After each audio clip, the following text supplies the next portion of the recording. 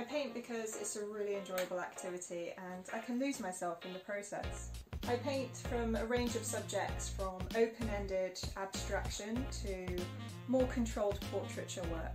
I like the feeling of working non-representationally and focusing more on the colour, composition and of course the texture.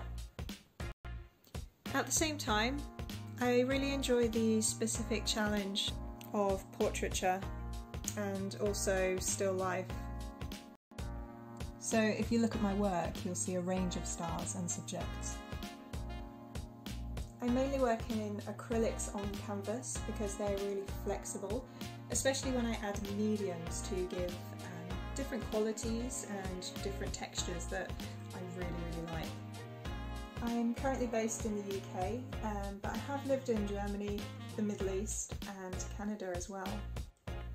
Yeah, so like many artists today, I do have an online art gallery where anybody can purchase my artwork from all over the world. I still find it incredible that, you know, art buyers have my artwork in their homes. If anyone wants to discover more of my art pieces, uh, they can visit my online art gallery and hopefully they'll find a painting that they love.